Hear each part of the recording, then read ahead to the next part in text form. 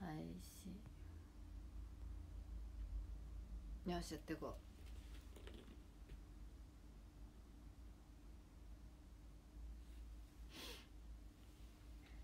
とりあえずえー、っと TVer を開いてさよなら毛利さんだよねさよなら毛利さん。出てくるかな検索して。さよなら。来た来た。よし。よし。あれ？よし OK これ、ね、途中 CM 挟んでるからねあれやねんな。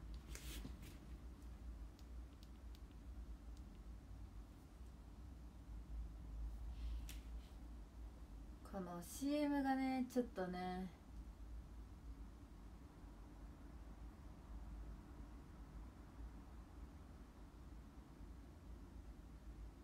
CM ですね。来た。始まった。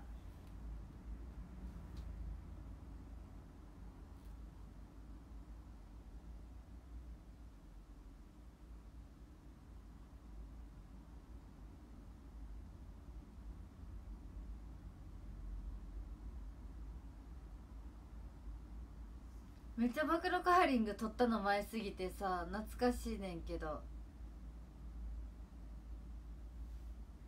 A と4か今回。うん。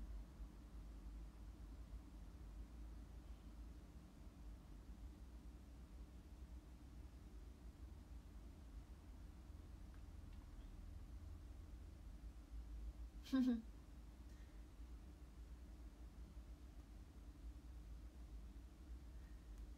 なんだっけなあんま覚えてないんだよね前すぎて。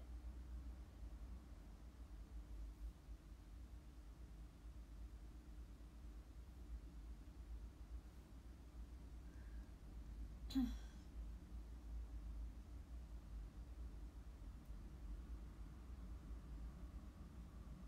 ん。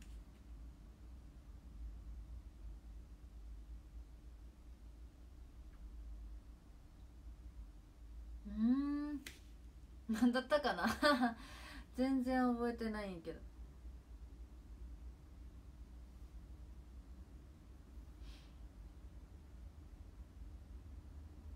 いやいや足が臭いとか。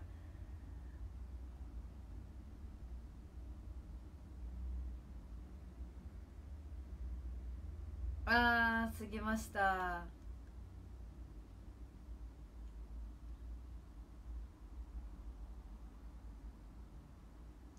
へえダ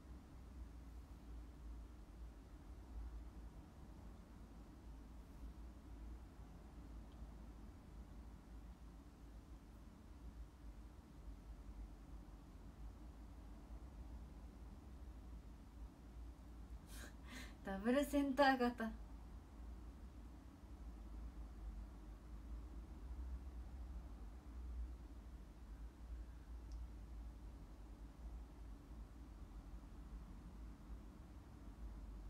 え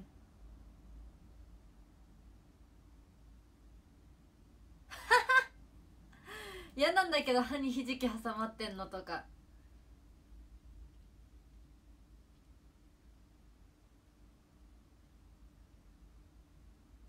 へえ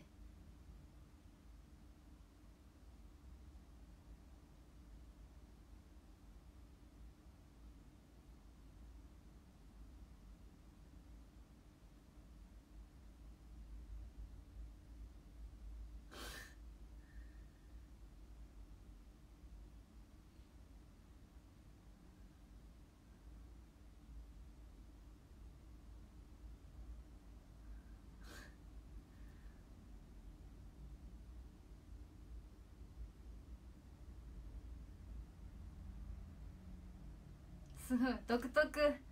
旗歯茎の話。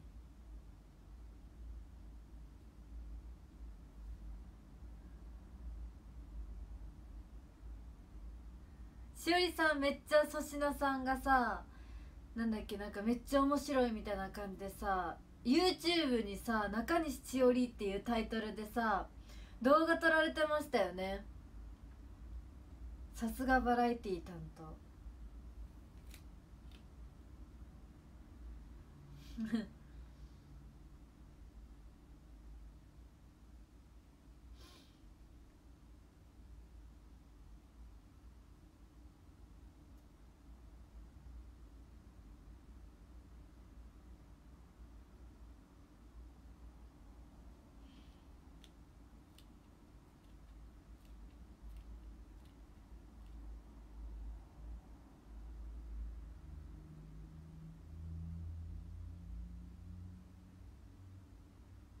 あーなんかやっぱ強いねんなちょっと。弱くしようと思ったらなんか逆に届かへんみたいな。むずいね。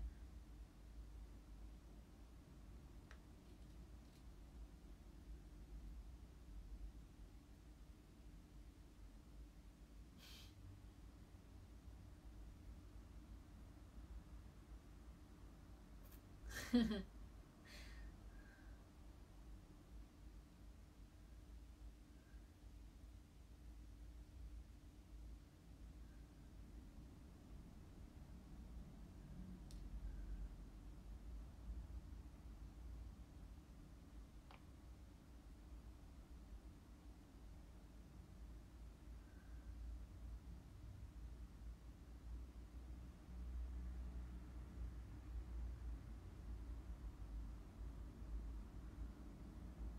うん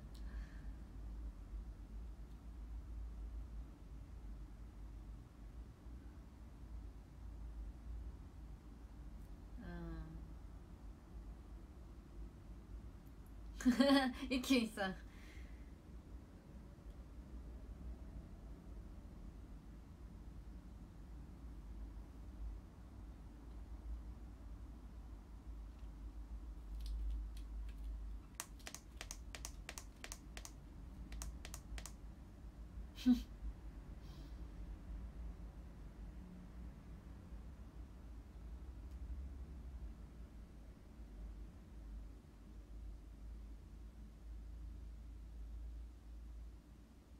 お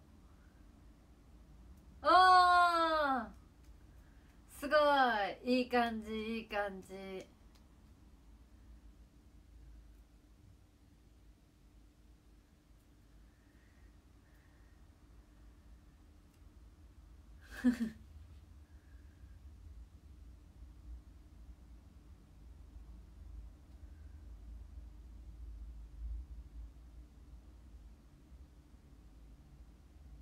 うん。そっかそっか。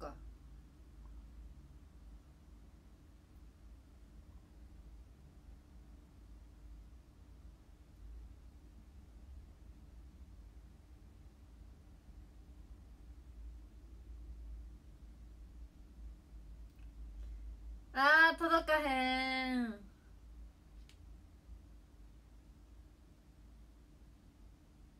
届かんかった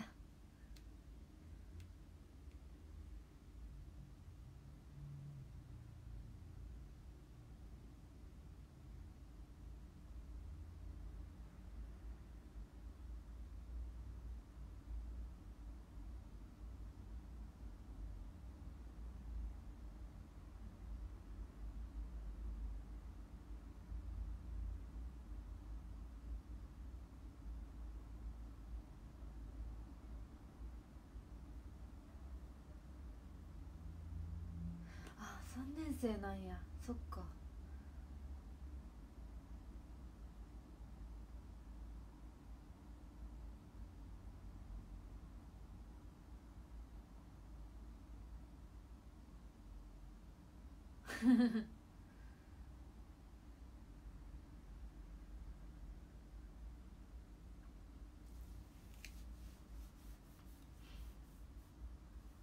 あひーちゃんちゃ白いねなんか。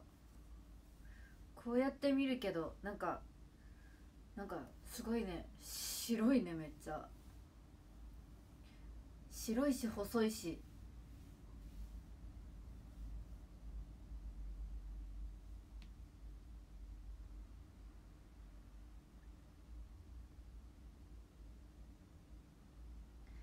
あああおおおいんちゃんいんちゃん。うまい。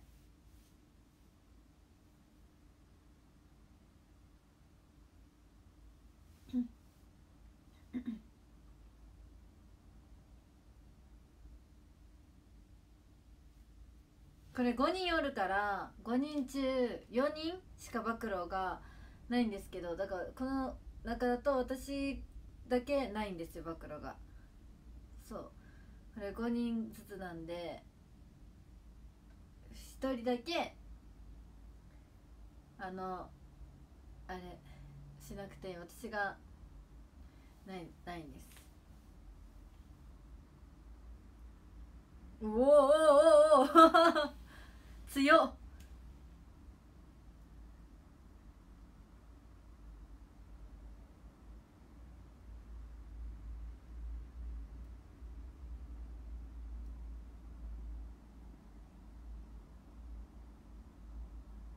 何あ MCM だ。あ CM なかった。CM ノー CM なんだこれ。へえ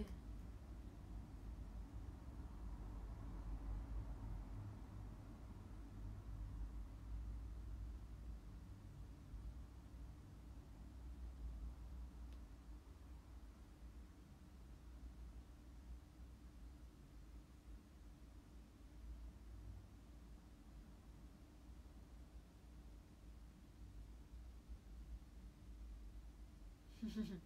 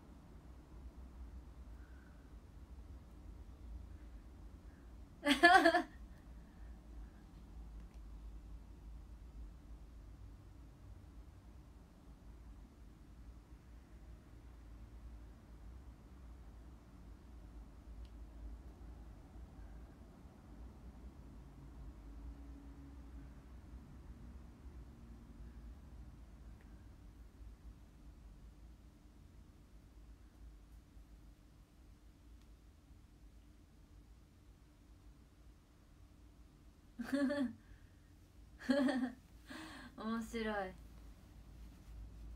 今七瀬の暴露見てる。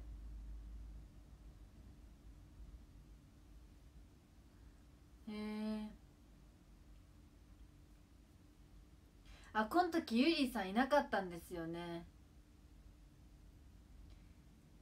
なんかなんだっけ。体調がちょっと悪かったかなんかで。そう。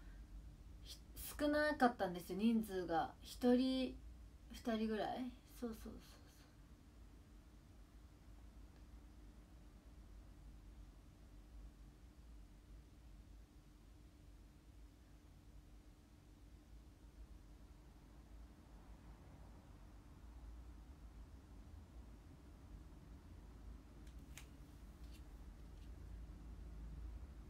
えええ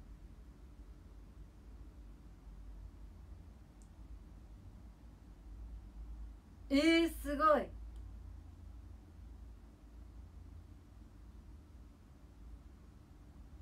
なんやなる顔引いてもうてるかな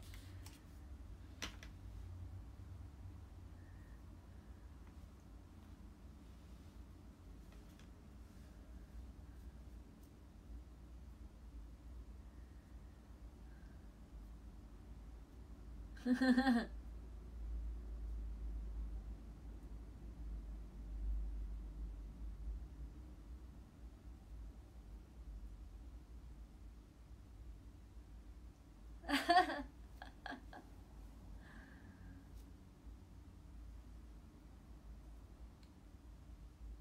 嫌だ。不潔アイドルは嫌だ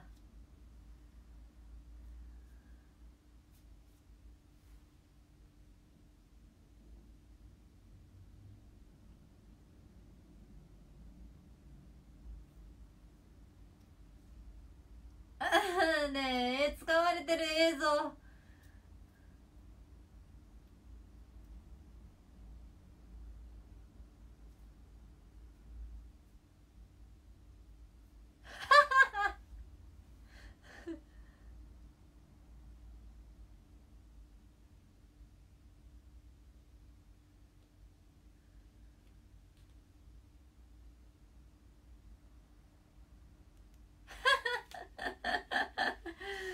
ねえほんと面白い千織さん。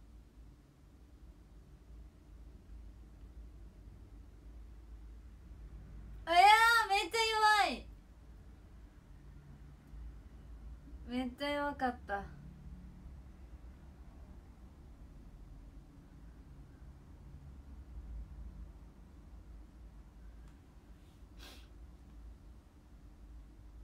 あー確かに。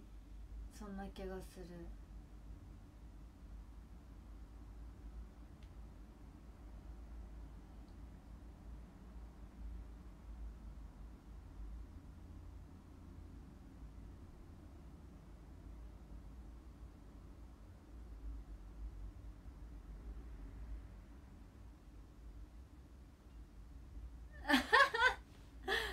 かわいい。ちえりさんかわいい。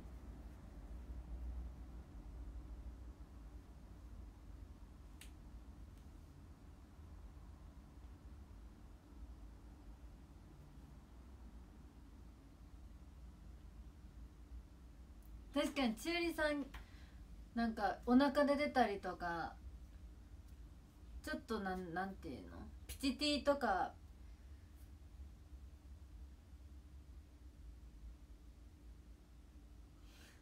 キャップ。でもいいと思う。だってさダイエットして痩せたんだってさ自信持てたんだったらねいいよね。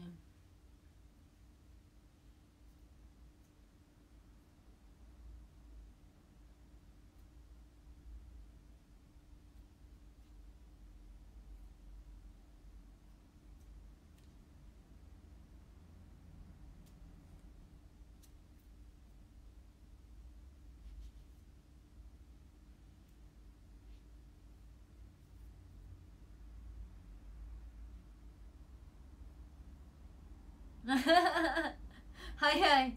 返しが早い。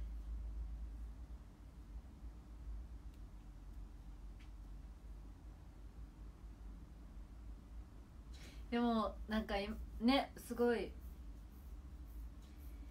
だってさ芸人さんが褒めるぐらい面白いってすごくない？ね。なんかなんか結構さ振るのもゆきりんさんとかあとはしおりさんとかがやっぱ多いよね。ハマも結構粗品さんに振られること多い気がするけど。面白い人に振るよね。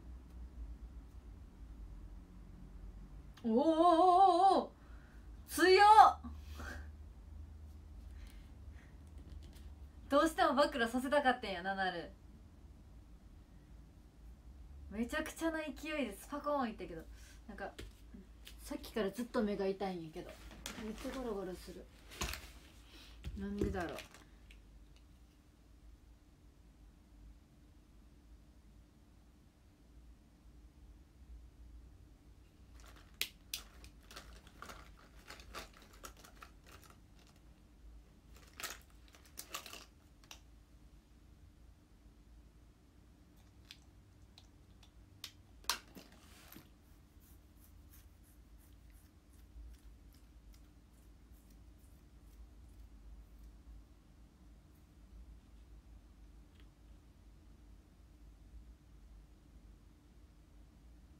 んかいうん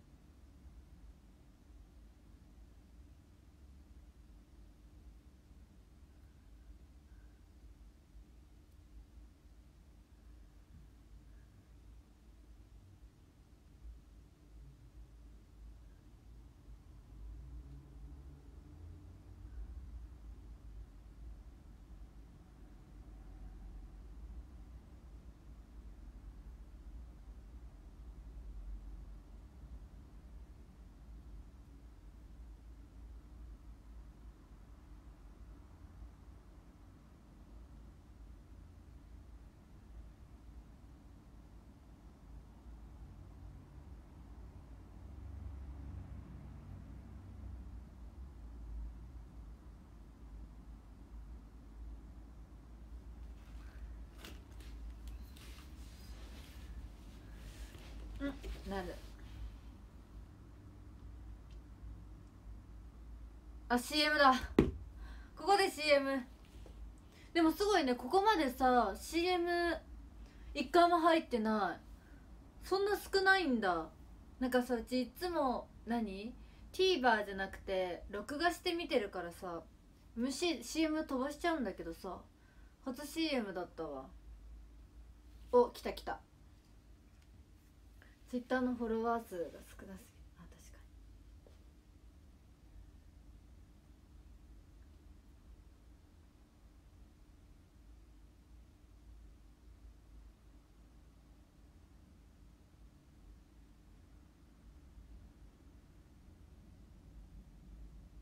に。うん。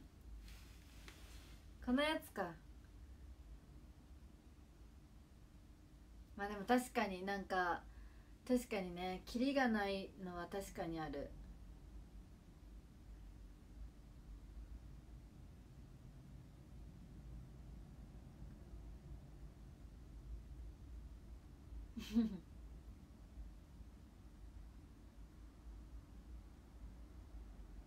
でも確かにキリがないのは分かるね。なんか例えば舞台とかでも共演してくださった方とか何か一緒になった方とかねしだすとねキリがないよね。メンバーもそうじゃん。なんかいろんな人がツイッター始めましたってなったらフォローせんといけんのんかなみたいにねななるっていうのは確かにまああるっちゃあるかもし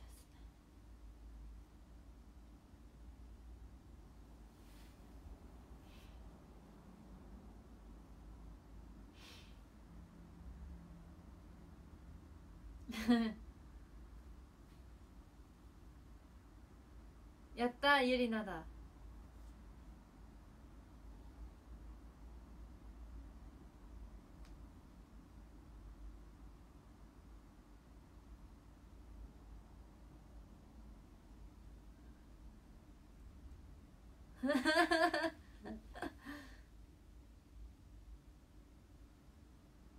この小田の髪型めっちゃ可愛いってずっと思ってたけど可愛いねこの今もっと短いかな。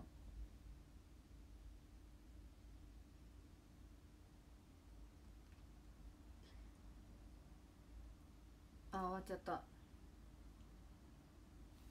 なんかあれみたい。ちょっと昔の何？昭和のアイドルさんとかよくああいう髪型してるじゃん。なんかこんな感じのさこういう感じのちょっと昔の昭和のさアイドルさん何あのー、何カットだっけ？聖子ちゃんカットとはちょっと違うけどなんかそっちの部類のさ感じみたいなやつわかる？かわいいよね。あれぐらいの時代のさ感じじゃん。伝わるかな、まあ、伝わってる人には伝わってるっぽいからいいや。そう。めっちゃ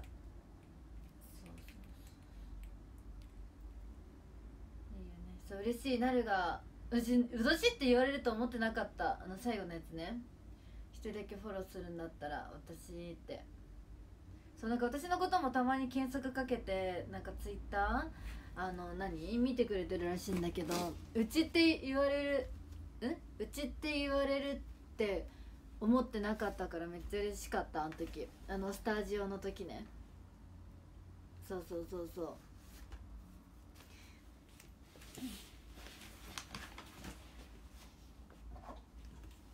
なんか小田とか下尾かなって思ったのよ。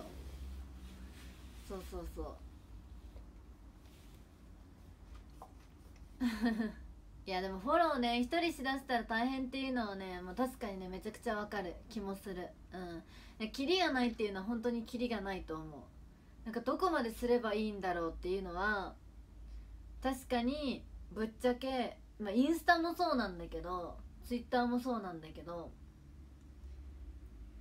あのねそうそうねって感じ。うん。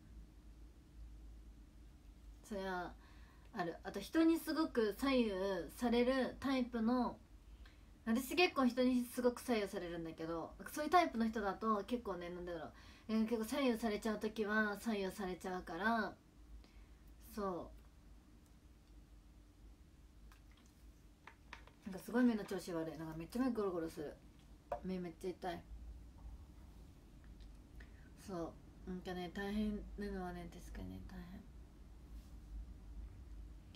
なんか写真とかさ、まあ、うちもたまに忘れるんだけどさなんか一緒にツーショットとか載せたらねタグ付けとかするじゃん。まあそれでねワンチャンね見えるしね。そ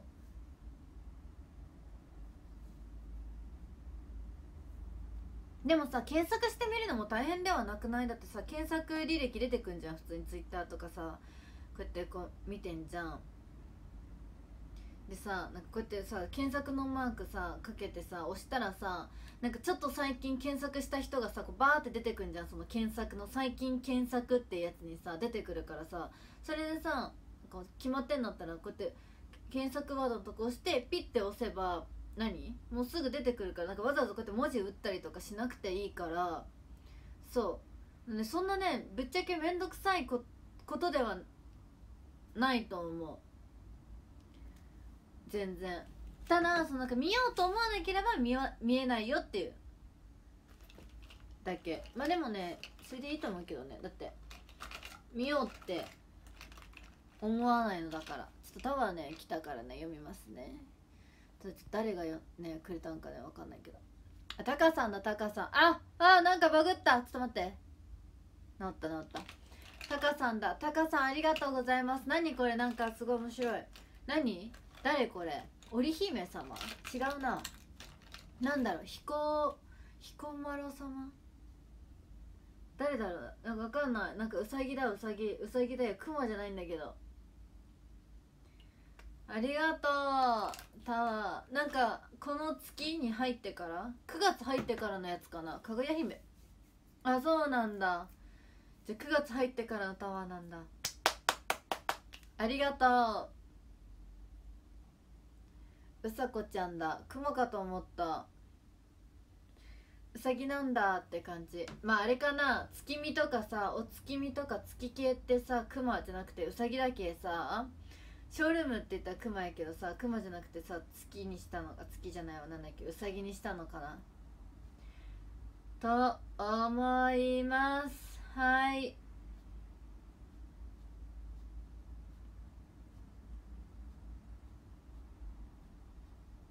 ということでめちゃくちゃ久しぶりに見ました。あのあ見ましたじゃないわ。間違えた。あそうそうそう。めちゃくちゃ久しぶりにあの、何？あの、さよなら毛利さん。出ました。でもねあれ収録したのめちゃくちゃ前だからさ。あの暴露カーディングやってた時あったじゃないですか。あの時期に収録したものだから。そうすごいねあの後回しになったからうち最近だってさよなら毛利さんの収録あの全然参加してないんで呼ばれてないからあれが最後ですけど。最近全然あれしてないからもうずっと出てないからね久しぶりになんかさよなら毛利さんの自自分を見ました。今回はあのなんだろうあの暴露される側ではなかったので基本的にあの映ってるって感じだったんですけどでもね意外に映っててよかった。そうなんかその暴露カーディングとかカーディングやらないから映ないかなと思ったんですけど意外にワイプで映ってたんで嬉しかったです。そうまた呼ばれたらいいなと思うんですけどまあでもね17期ちゃんもさ入ってきたじゃん。そのさよなら毛利さんにね。そうだからね余計に呼ばれる何座席数がね少なくなっちゃったからね。まあ呼ばれないかなって思います。でもなんか最初の頃に何回か呼んでいただけてありがとうございましたって感じで嬉しゅうございます。嬉しゅうございます。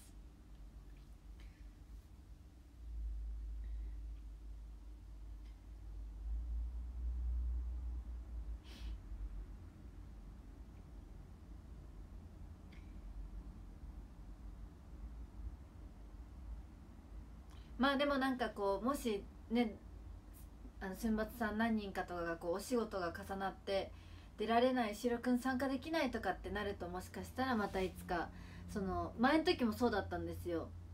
なんかそれで呼んでもらえる日が来るのかなっていう感じでよろしくお願いしますって感じで。よろしくお願いしますって感じでよろしくお願いします。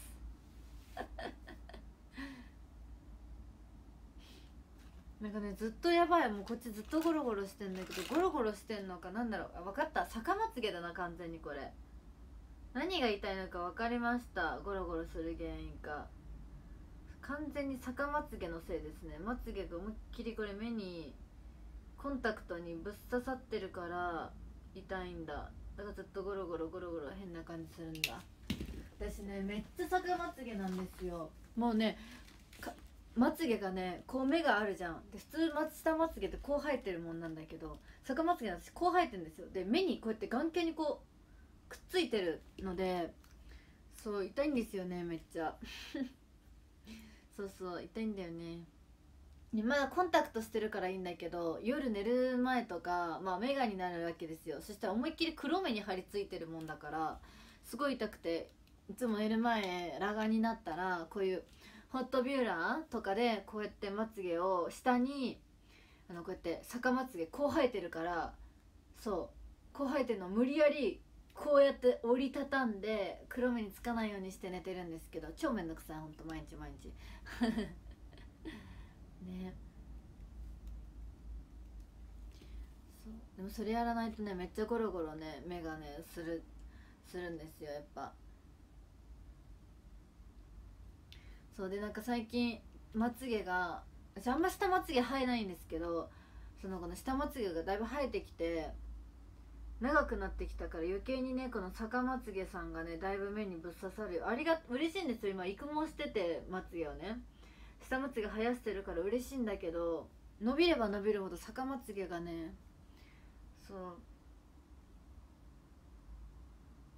どんどん眼球に張り付くからね。それもそれでねまあ辛いっちゃ辛い。なんかどっちもこっちって感じなんですけど。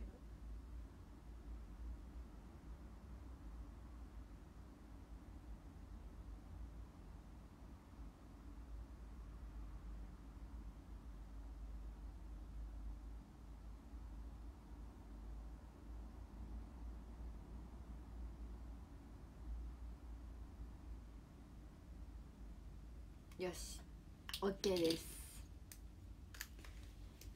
よしこれで目のねゴロゴロがねよくなりました。OK 多分ね逆まつげのせいだったと。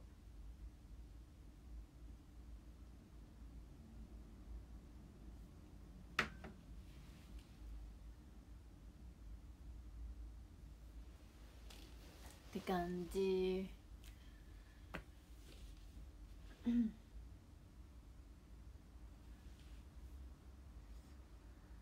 いい感じでしたね。ほんと坂まつげは辛すぎるわ。痛いよね坂まつげどうにかしてくれって感じ。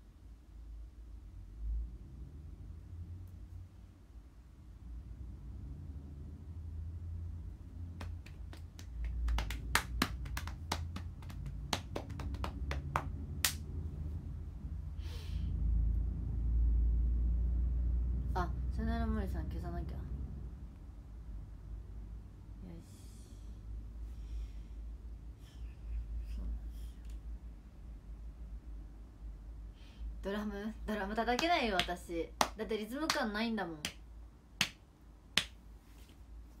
でもねリズム感ないからベースもできないでしょって感じなんですけどね。そうできないでしょって感じなんですけどレッセではねベースやってましたね。本当面白いですよね。リズム感はね。まあ確かにね悪いっちゃ悪いですね。1ミリも良くないですね。耳もいいんか悪いんかよくわからないってよく言われます。なんかなんだろうね。すごく本当になんか変不思議なんですけどリズム感は本当にないんですよ。あのねダンスしててリズム感ないってメンバーにも言われたことあるし、まあ、自分でもないなって思う思います。なんだろうなんかそこまでバカクソにダサいなんかなんだろうなんかもうやばいなっていうほどではないんだけどダンスできる人からするとリズム感がないっていうのが分かるぐらいまあ多分そんな普通の人からしたらその私ダンスできないやばいってほどではないと思うんだけどやっぱりねあのねダンスのジャンルにはいろいろあるんですけど苦手なものは苦手ですね。結構取れないものは取れない。うん。なんかぎこちがぎこちないみたいな。そう。っていうのもある。なのに私はただ単にかっこいいという理由だけでですねベースを選んでしまったので本当はドラムかベースが一番好きであのドラムがかっこいいんですけどでもドラムはねあのねぶっちゃけねあのね無理です。あの手と足がバラバラに動かすことができないんですよ。私ピアノとかも習ってなかったんであのね手とね足がねバラバラに動かないです。なんなら右と左違うことできないんですよ。ピアノとかってまあ、こっちなんかチャッチャッチャッチャでこう弾くじゃないですか。これできないんです私実は。全部ずっとこういう同じリズムにしか刻めなくて。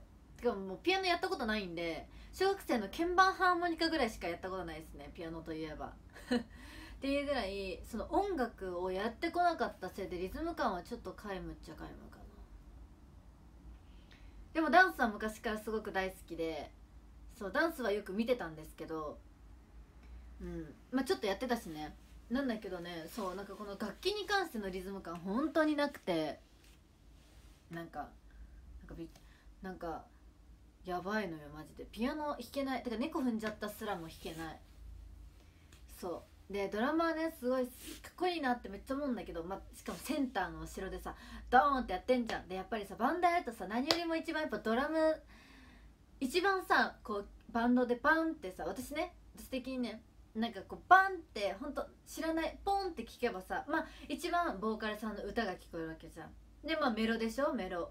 メロ、まあ、ギターなりなんなりピアノピピアピアなりこうメロが聞こえるじゃん。それでさ横でさまたどんどん言ってるのが聞こえるわけじゃないですか。まあだからさ言ってしまえばさこのめっちゃ目立つわけですよ。ドラムとか。結構。でさやっぱかっこいいじゃん。目立つのよ。だかかっこいいって。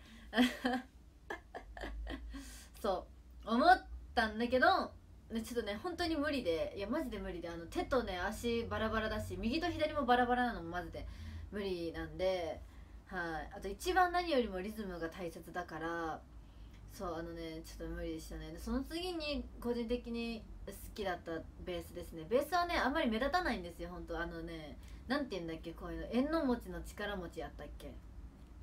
そう。なんか聞こえるものもあるんだけど正直そんななんかギターほど目立ちはしないじゃないですか。ベースって。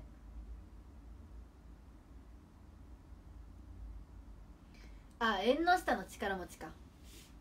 そう。なんかそのちょっとのところでさこうおおすごいってとこもあるけどでもなんかそのなんていうのベースってめちゃくちゃ前に出てるわけじゃないじゃないですか。なんかほんとひっそりとあの皆さんを支えています。はいみたいな。わかる？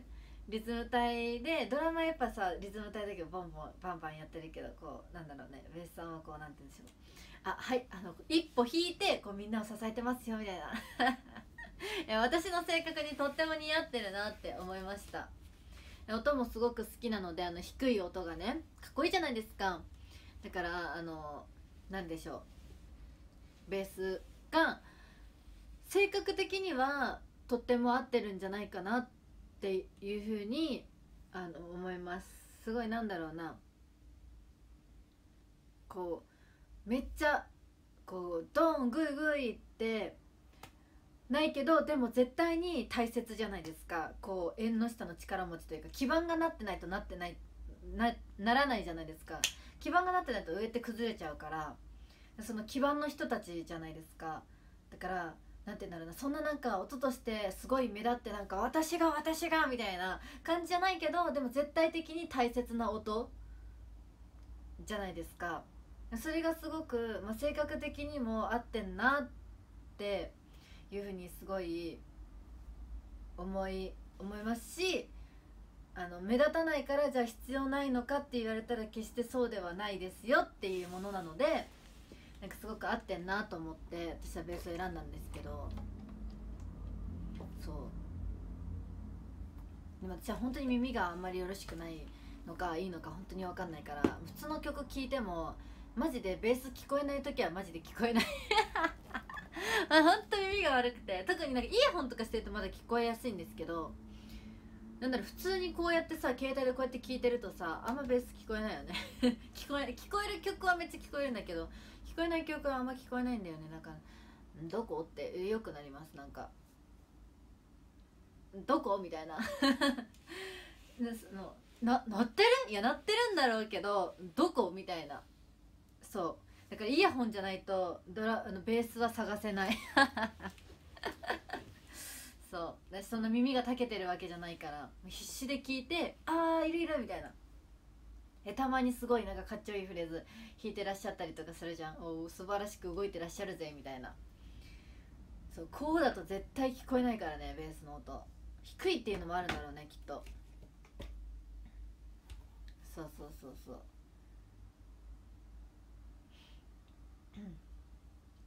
ベースもう全然弾いてないけどね。けよって感じなんだけどね。全然弾いてない。もはやチューニングの仕方すらもあんま覚えてないわ。私もう忘れるのめっちゃ得意だからすぐ忘れちゃうんだよね。チューニングの仕方も覚えてないかもしれ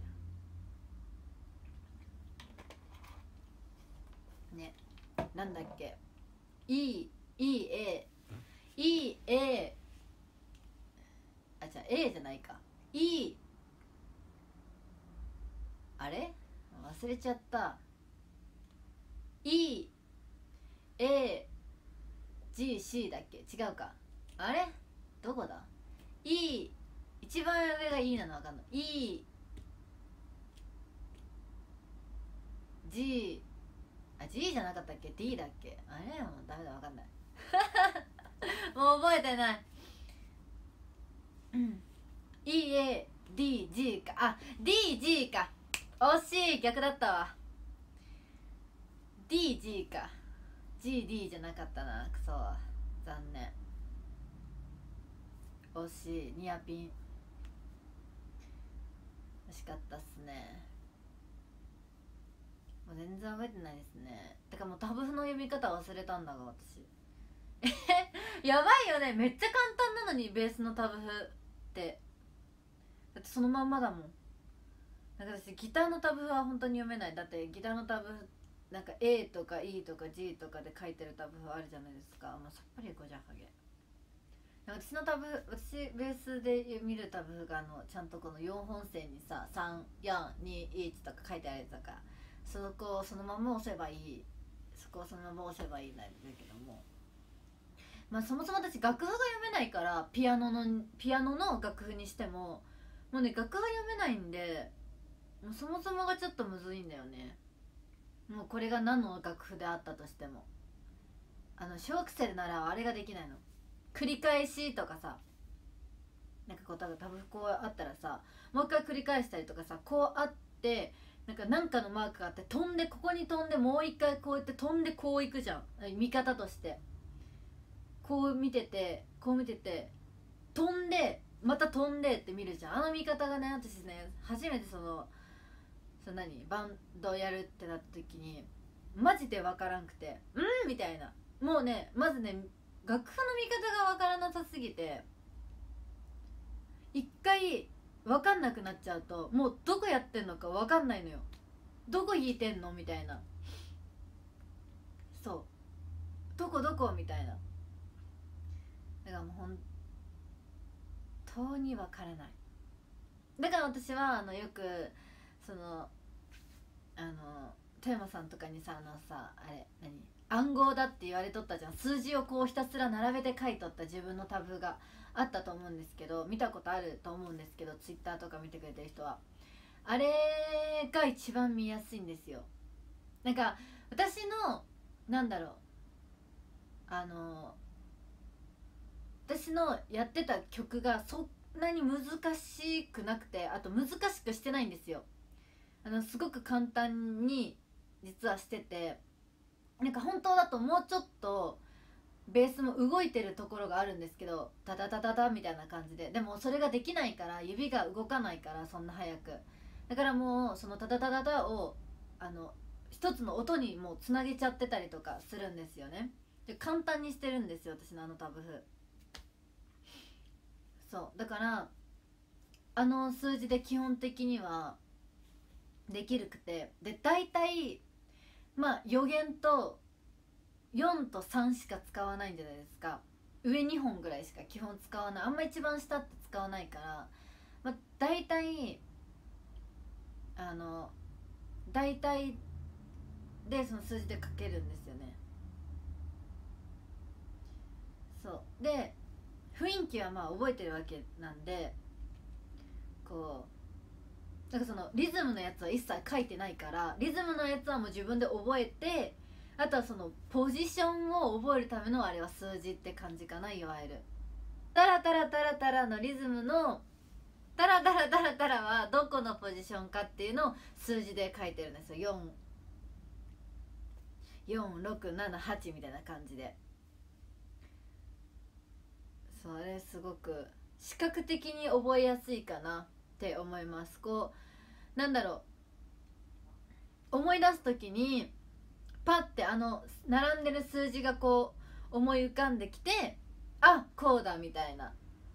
そうそうそうそう。なんかあこうだみたいなのをこうパッと瞬時的に思うみたいな感じかな。思い出すみたいな。うん。っていうのでああいうのを書いてるけどでもあれで書けないやつもやっぱあります。あのめっちゃ長い長いやつとかあとは繰り返しじゃないやつだったりちょっと複雑なやつはあの数字だけのやつってできないんですけどほんと簡単なやつ例えば「Give Me 5」とか「ヘビロテ」とかそうねああいうのは私あのその数字暗号化してたんだけど数字暗号化全部しやすいですあれは。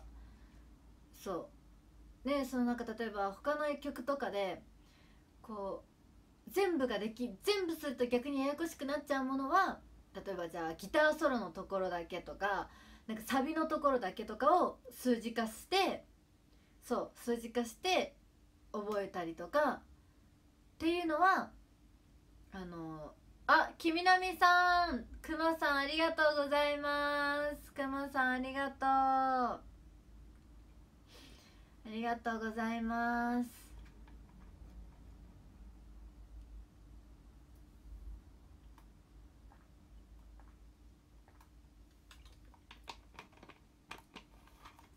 なんかさこれタワーだよね。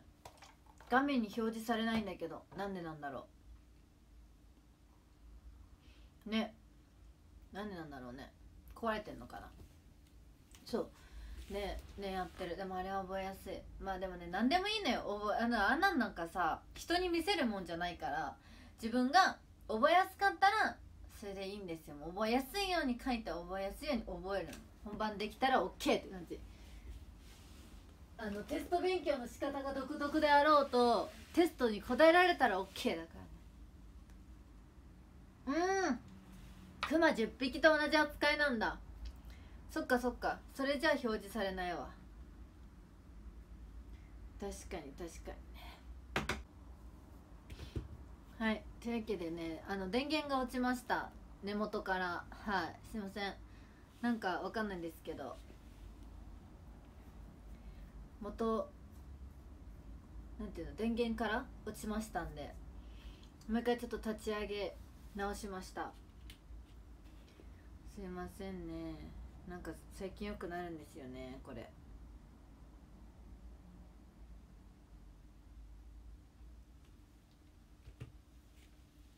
あータカさん白ありがとうございます。お城タワーありがとうございます。ありがとう。すいませんねすごい微妙なところで終わってしまいました。なんかね急に充電今しながらやってるんですけど配信。そう根元の電源からね根こそぎ落ちちゃってもう一回ちょっと電源立ち上げてちょっとやってしまったっていう。多分充電より消費が早すぎて多分追いつかなくて落ちちゃったんだと思います。すいません。9時から新しい iPhone 予約するしかだって。え買ってくれんの？買ってくれんの？ありがとう。とか言って。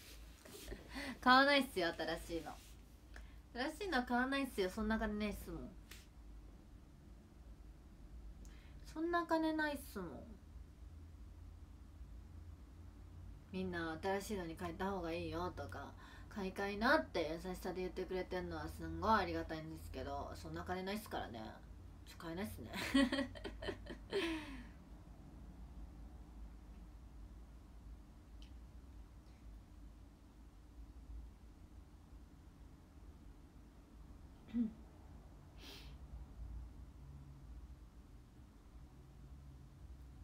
うん。そう iPad だからさ高いんだよねでもさまだね使えるってまだ使えるって言われたからさ。まだ使えるって言われたからさ使うけどねあと12年ぐらい。いけるって言われたからさ。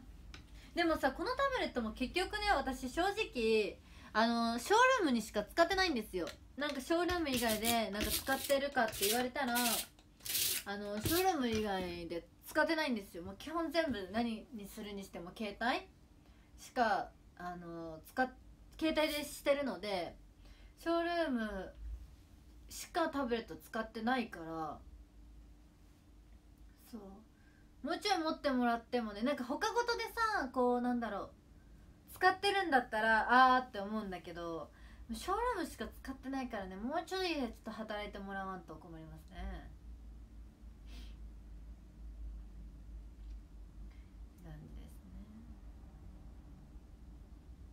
タブレットでアニメ見ないの？だって。見ないね。携帯でしか見ないね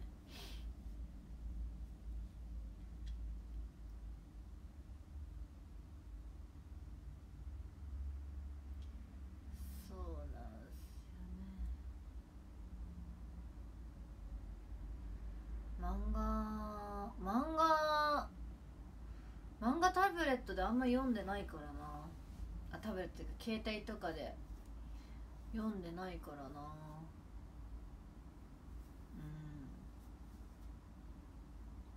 うん。漫画は単行本ぐらいしか読んでない。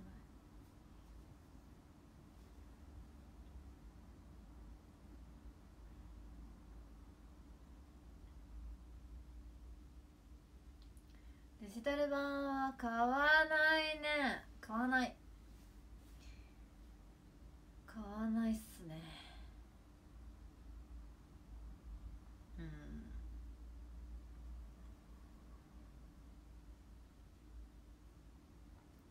単行本でしかちょっと買わ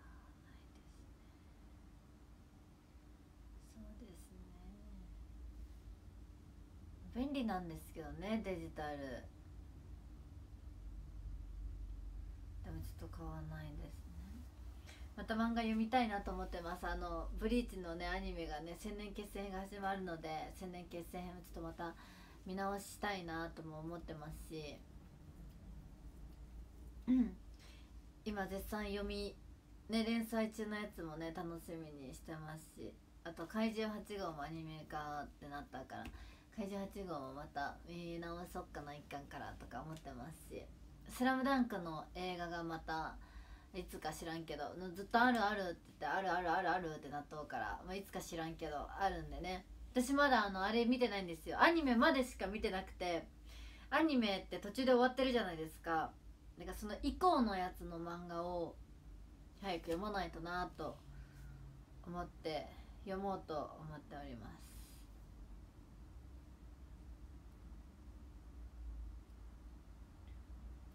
チェンソーマンのアニメもね超楽しみ。チェンソーマン原作読んでないんですけどだからこそすごく読んでみようかなって思ってた作品だったんですけどまあちょっと読んでみようかなって思ってたんだけど手を出さなかった作品なのでアニメ化が決まってくれて超嬉しいです。めっちゃ見えるなと思って。イエーイって思ってます「スラムダンク12月あ12月なの？クリスマスあたりとか？いいじゃん。冬だね。わあ見なきゃ見なきゃ。あれあれをあれを聞きながら見ようかな。なんだっけ。好きだと叫びたいだっけ。君を好きだと叫びたいって言って。チャラチャラチャラチャラチャチャラチャラしか出てこあれを聞きながら。ふふって。ノリノリで。映像 CG っぽいけどなだって。え待って今までの映像な感じじゃないの？あの絵のタッチがいいんだけど。それ無理だわ泣きたい。世界が終わるまでわーわーだって。いやそれも聞くよ。世界が終わるまではって。聞かなきゃね。でもやっぱいいじゃん。なんかバスケがしたいです。もう一度バスケがしたいです。世界が。だからね。最高だよねあれは本当に。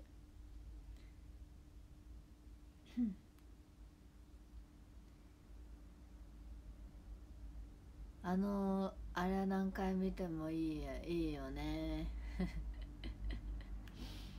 三井くん。まあ私は宮城がいいんですけどりょうちゃん。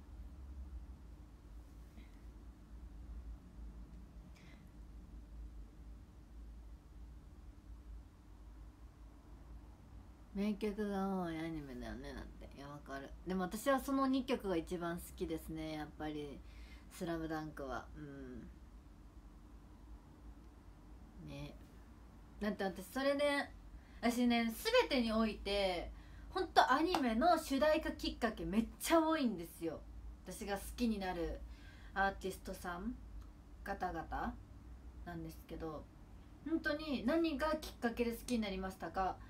基本的にそのアニメの主題歌担当されてこの歌いいなってなって誰が歌ってるんだろう。あえこういうバンドさんが歌ってるんだ。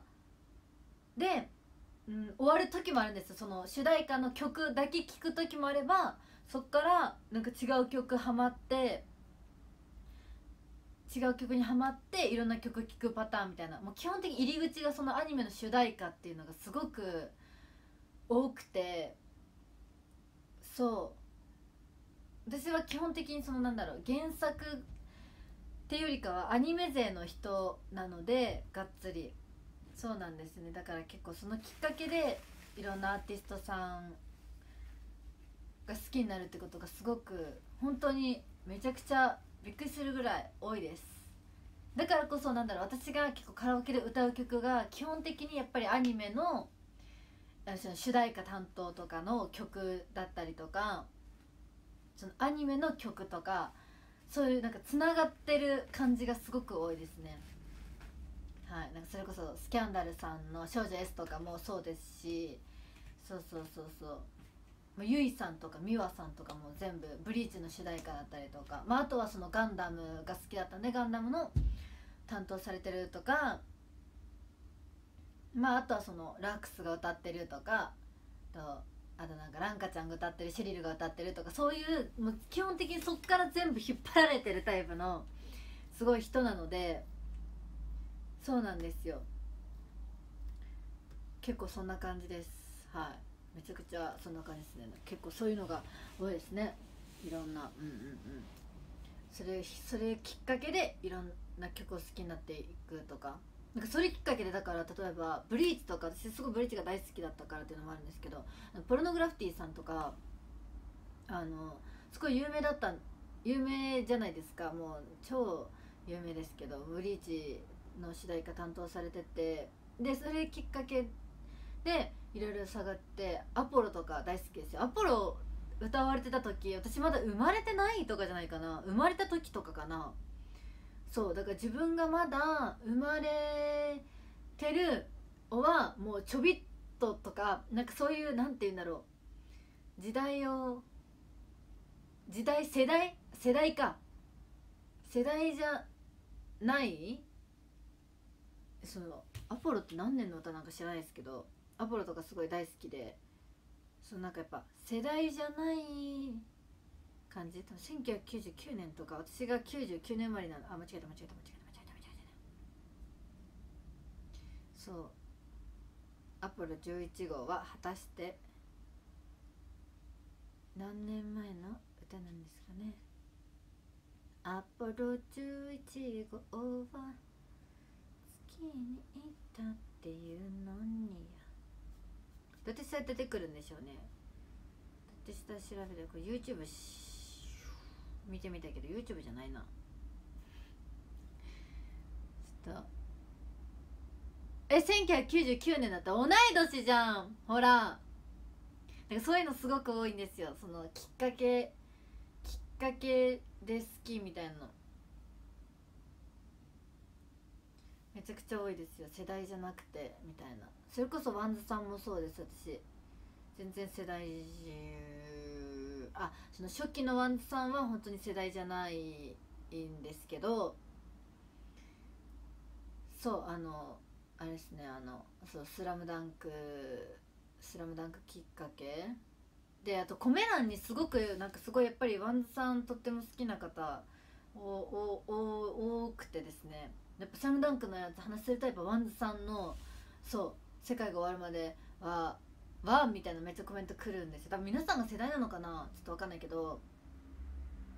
そうあとそうあのあのね私大好きな「名探偵コナン君」も担当されてるんですよ。第5期 WANDSさんが。そう真っ赤なリップっていうのを担当されてて。そうそうそうそう。大好きです。私はあれが好きですよあのね。とねいつの曲か分かんないけどね「てん」あでもあれもいいです「時の扉」も良いですね。あと「世界中の誰よりもきっと」っていうのを歌いました。あのなんか朗読劇みたいなのを前やったんですよ。メンバー8メンバー数人で。その時になんか1人ずつカラオケで歌う時にあのそう。中島あ待って名前なんだっけ？みぽりんさんだよねコラボして。違うっけ。あ中山美穂さんか。そう。あのコラボのあの曲。そう歌ったんですよ。世界中の誰より誰より世界中の誰よりキートか。そう。歌ったりっていう感じ。あれもいつの曲かわかんないですね。いつのい何年の曲なんですかねちょっとわかんない。90年代初頭だって。調べてみよう。世界中の誰より。きっと。1992年だって。やば。生まれてないわうち。生まれてなかったです。すいません。生まれませんでした。生まれてやかったでござんす。すんまそん。もっと強く抱きしめたならもういい曲えわかる？もっと強く君を抱きしめたなら。でしょいい曲ねわかる。私あれが好きよあれあれ。けん、うん、曲名出てこない。私もうあるあるすぎる。曲名出てこない天使。わかる人いるかな？天使。天使。天使。天使。なんだっけ？曲出てこないわ。ああ天使。天使。出てこない。ダメだ。天使。天使になってなななな。うんちょっとメロも出てこないわ。あちょっと待って。天使あ間違えた電車になっちゃった。天使。天使。天使の天使天使になって天使になんてみたいなやつ。天使になんてなれなかっただわあこれこれ好き結構。これ好きっす。ちなみにこれはですね1994年っすね。生まれてないや。これ好きです。天使になんてなれなかった。これ好きです。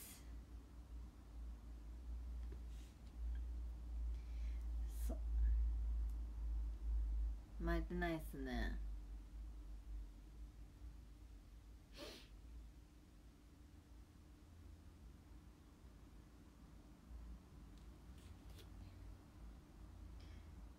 そう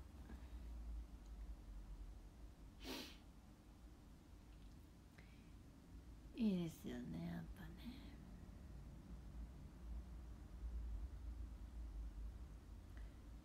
うん。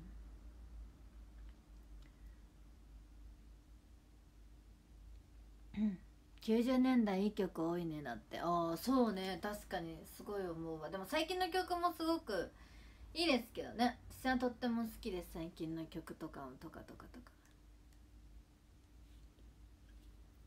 とかとかとかとか。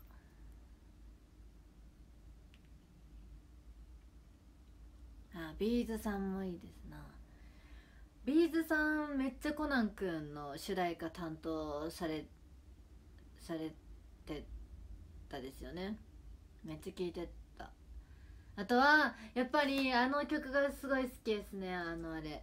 あのやっぱブザービート。ドラマあったじゃないですか。ブザービート。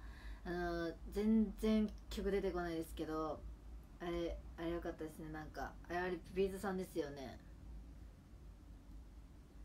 あれドラマもめっちゃ良かったしマジで曲もあのマジで本当にもう最高した。最高した。一部と全部だって。めっちゃあいいですね。だから声がすごいいいですよね。かっこいい声してらっしゃいますよね。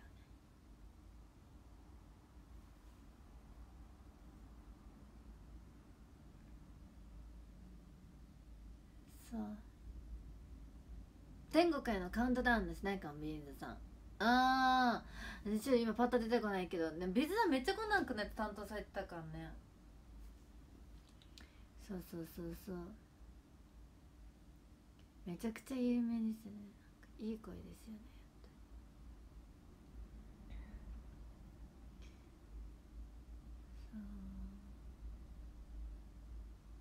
あのねわかる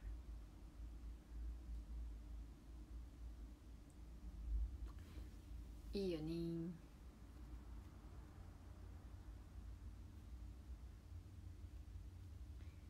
主題歌が私は本当に強いのよもうどうしても。そっから派生めちゃくちゃ多い。めちゃくちゃ。ビーズさん皆さん世代かな。だからビーズさんはあんまりなんか世代とかなさそうな気もするんだよね。だって今でも知ってんじゃん。てか今でも歌われてたりとかするじゃないですか。カラオケとか。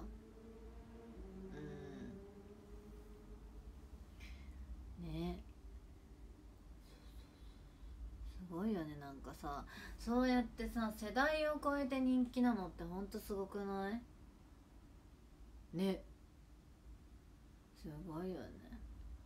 ザードさんの曲知ってる「負けないで」ってザードさんじゃないの？あれ違うか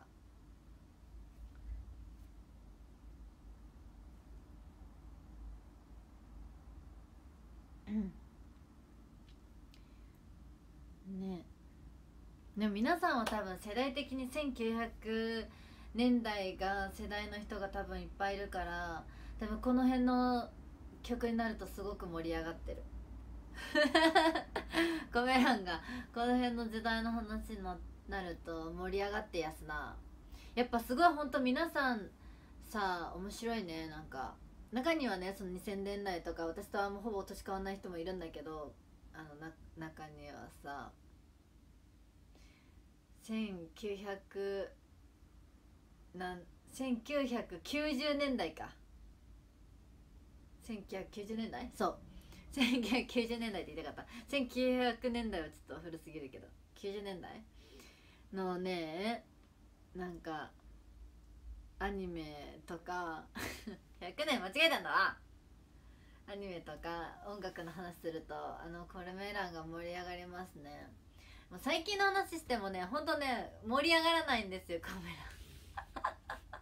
ほんと分かりやすいよめっちゃ。もうアニメにしても音楽にしても。ほんとねねすごいねちょっと私からするとちょっと古いってなったりあの生まれてないよってなる時の話をすればねめっちゃ盛り上がるのコメント欄、みんながちゃんと返してくれんのコメント。でも最近のやつの話をするとシーンってなんの。ほんと同じ人が毎回毎回コメントしてるみたいなね感じにねほんとなんの。もうみんな面白いね。すごいみんなすごい。世代がバレちゃうよ。世代が年バレちゃうよ。みんな年がバレちゃう年が。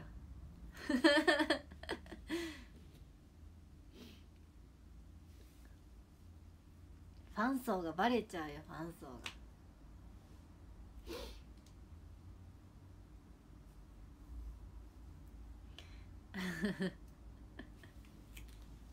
ね。いや別にいいんだけどさ。ぜひね最近のねあのアニメとかもね見てハマってもらえればもうそれで私がそれを話した時にね付き合っていただければ全然全然いいですよ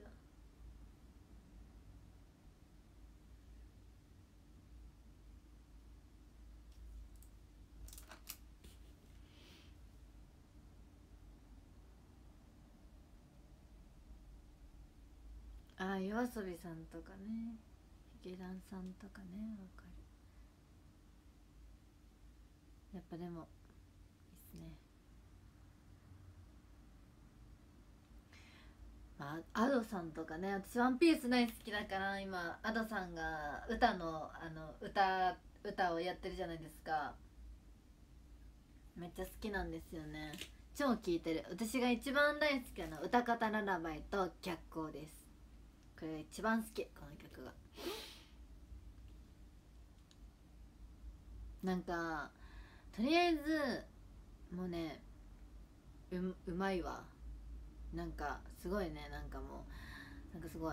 なんかすごいと思うわ。あのうんなんかすごい。なんかすごいわ。私はもうなんかシンプルにですねなんか本当にあのもうすごい。なんか普通にもう私からするとなんだろうもうビブラート使ってる人もすごいしもう拳だったり何しゃくりとかあのカラオケの採点とかあんじゃん。そのビブラートとかしゃくりとかあの拳とか。もうそれを使ってる人その使ってる人すごいってなんの。もうシンプルにね。私それできないから。そう。もうすごいってなんの。でもそれにさなんかやっぱプロのさ人たちとかはさなんだろうこうあのシャウトとかさなんかこういっぱいさ、まあ、いろんなあの使ってるじゃん。声を変えてるじゃないですか。普通の普通のストレートに歌うんじゃなくてこう歌い方を変える。こうなんていうのちょっとザラザラした感じにしたりとかさ。そう。もうさそれをそれをさやってる時点でねもうねなんかねもうわあすんげーってなるわけ。そうそうそうそうそう。そ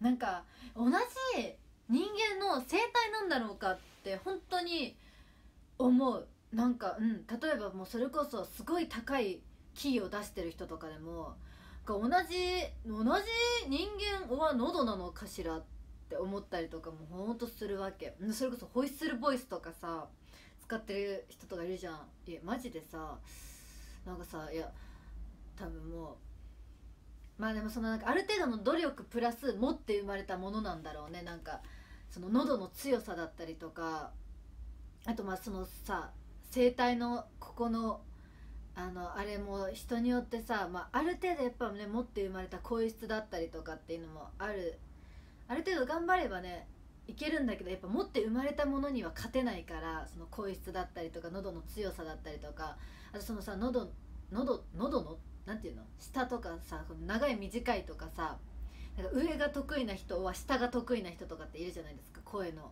その声帯の長さ声帯の長さなんていうの？このなんていうんですかね下の長さかこの喉のあれの長さかわかんないけどやっぱさすごいなって思うね。同じ人間としてなんかうん。わーって感じ。そうそう。やっぱ努力してもね持って生まれたものにやっぱ勝てないからね。すごいなって思う。そう。アドさんの歌最近聞いてて思うわ。うん。なんかワーオって感じ。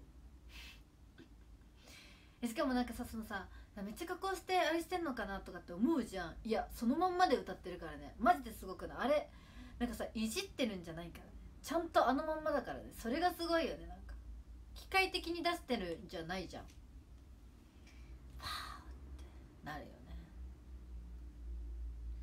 かっこいいってなるわ。ね。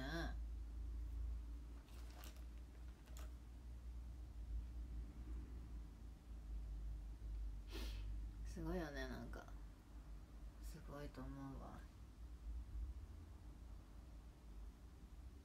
ねえすごいよね。どうなってんだろうね。どうなってんだろうね。どうなってんだねわかんないや。キングヌーの井口さんも同い年だけど生態は同じ人間じゃないと思ってるだって。いやそれな。いやほんとそうよ。いやそそうだと思うよ。私もだって Ado さんと同じ人間ですけどなんなら年下ですけど Ado さんの方が同じ人間だと思わないですもんまあいやすごすぎでしょって思っちゃうそう低いかもいいけど白日みたいな高いかもだしいやわかるわかるわかるわかる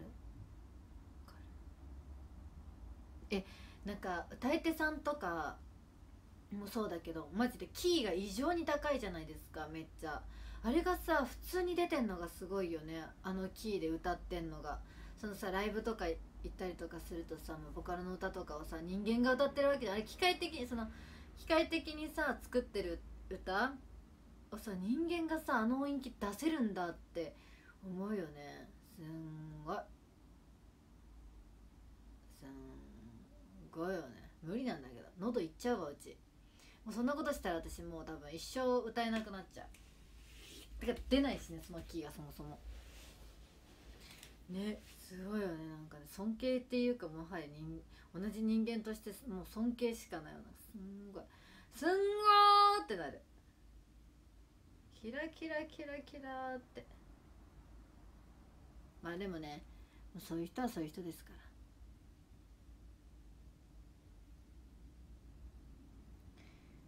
そう。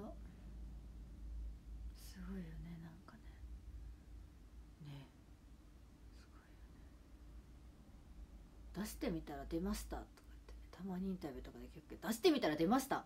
その音がはあすんごいですねって思ったことある。やばくない？出してみたら出ましたって。すんげえな。どういうことですかって思うけどね。そんなそんなそんな簡単にできるキーではないんですけどって思ったりもするけど。どういうこっちゃやねんって思ったけどね。ねすごいよね。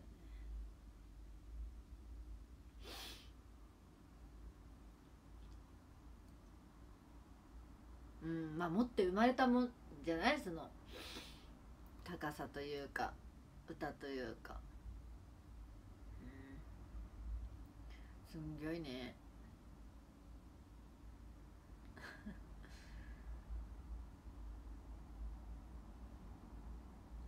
ね。でもなんか歌うまかったら歌うの超楽しそうっていうのはすごく思う。歌番組とか見ててね。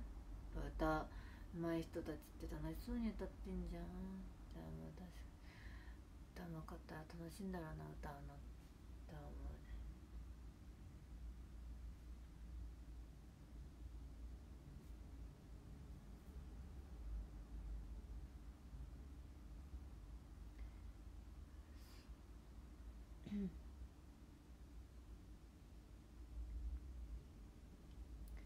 ねね楽しそうって。楽しそうってめっちゃ一言やけど。見てる見てる。そうそうそうそう。ダンス上手い人とか見るとやっぱりダンス上手いじゃん。絶対さ楽しいんだろうなって思う。なんかこう「どうや!」みたいな感じ？なんだろうなって見ててすごい思う。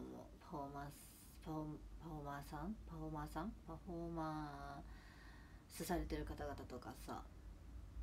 うん。カラオケやってほしいな。うん。まあやらないかな。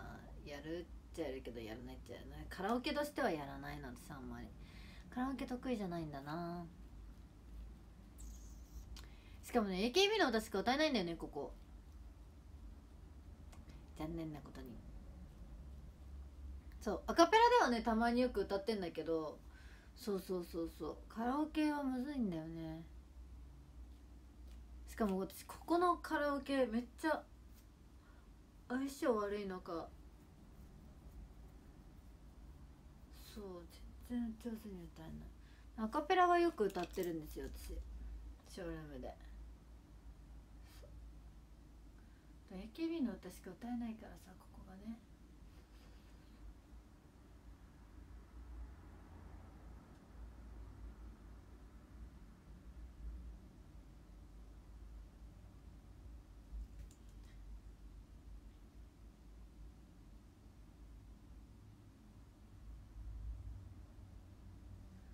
カペラはねよく歌ってるよね私。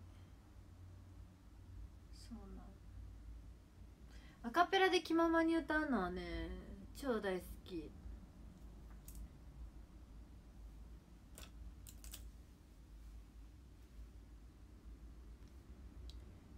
そう。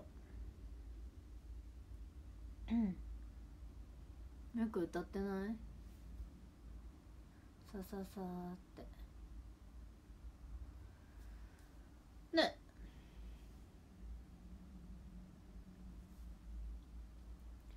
そうよく歌ってるよね。うん。うん。ってそうまあでもあのカラオケ機能使って歌ってることはないかもうん。カラオケ機能使って歌ったのはもう数年前だねアカペラだねいつも私歌うのまあでも聞いてる方はつまん。ないん。だろうなきっと私いつもアカペラでしか歌わないから。しかもこうなんか全部歌うっていうよりかはこうワンフレーズワンフレーズ。ワンワンハーフとかとかしか歌わないじゃん。まるっとは歌わないからさ。聞いてる方はつまらんのだろうね。多分。この感じだと。このコメントの感じだときっとね。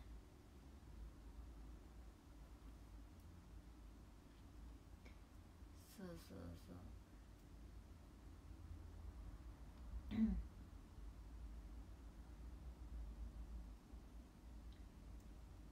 そうそう。よしそろそろ終了にしようかな。そうなんです。でも歌ってって言われたら歌いたくないんだよねうち。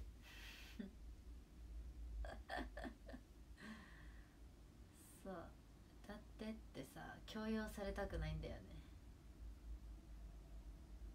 なんか私はいつも気ままにあのふふふんってアカペラでアカペラでよく歌ってんじゃん。そのこの間もさサムネイル公演の話した時とかもさ何アカペラでさ歌なんかあのワンフレーズ歌ったりしてたじゃん。ああいうのが一番好きなの。そう。なんか絶対逃げられない状況がしんどい。そう。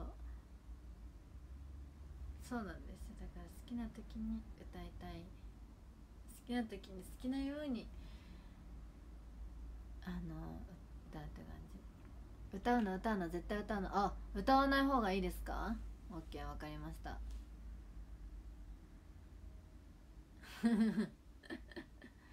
オッケーわかりました。私は気楽に歌いますんでまあもし私がアカペラで歌ってる時にショールームで遭遇できたらラッキーですねって感じだね。そうそう。サムネイル公演の時もね私結構う歌あのアカペラでねふんふんって歌ってたけどああいうのがね大好き。気楽に歌えるのが一番楽しいですそう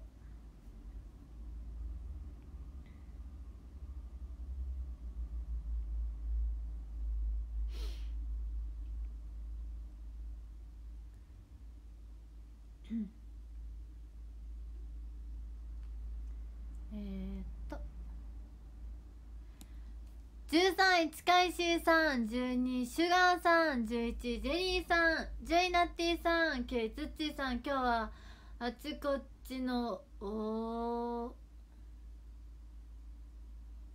お詫びですか？あ間違えた。なんか2人いるんだけどバグってんのこれ。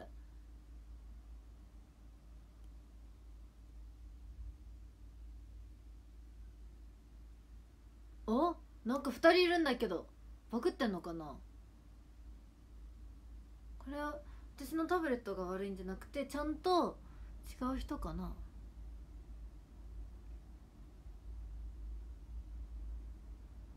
あバグってんのかな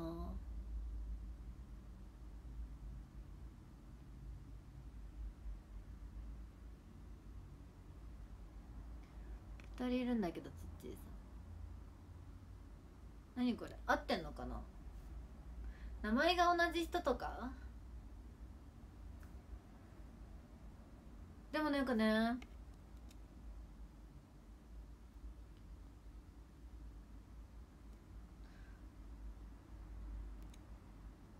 あなんか変わっちゃったランキング。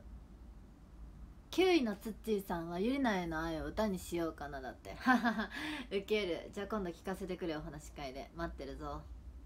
で8位が8位もつっちーさん今日はあちこちのお詫びです。だって。でもね横ちゃん推しっぽいよ。卒業してしまいました。基本チームメイトが大好きですって書いてある。えー、横ちゃん推しなんだって。こっちの人は。なんかよくわかんないね。なんか違う人なのか。どどどうなのかよくわかんないけど。並んでました。すいません。まあでもみんなもそう見えてるんだと。多分私のバグではなさそうな気がしますんで。ありがとうございます。7位。ニケオさん6位つーちゃん最近不調なので元気の出る一言お願いします。ガッツだぜいバババババー。ファイトー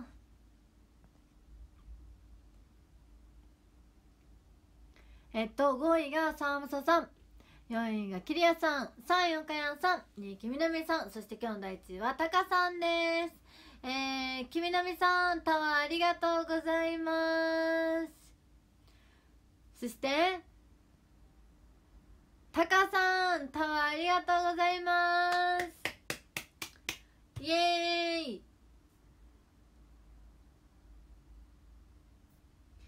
はい。OK かな。ありがとうございます。というわけで今日はこの辺でえっとそうですね。最初の30分は T TVer 見逃し配信さよならまうりさん配信でその後がまあ普通にわ私の私の個人配信みたいな感じで配信させていただきましたんで今日はちょっと長く配信させていただきました。明日もお休みなんで今日は長く配信させていただきました。またレッスンとかが始まってくると15分配信が続くと思いますのでまあできる時に長くできる時にできるだけ長くやろうと思いやしてやらせていただきました。ありがとうございます。イエーイ。じゃあ皆さんえっ、とえー、そうですね。次一番キンキンだと波動ですかね？波動大会に来てくださる方は波動大会でお会いできるんじゃないかなと思いますしオンラインお話し会の方もねぜひ絶賛受付6部再販とかだったっけな？7部だったっけな？押してた。でも6部か7部かそれぐらい再販なうなんでねよかったらどの部もスカスカなんでよろしければお話をお待ちしておりますって感じで。そうですね。波動私次2回目の参参参うん？参参戦参戦なんですよ。なんでちょっと前回あの最下位で本当悔しかったんでリベンジができるということでリベンジ頑張りたいと思います。イエーというわけで今日も見ていただき本当にありがとうございました。また明日のショールームでお会いしましょう。それじゃあバイバーイ！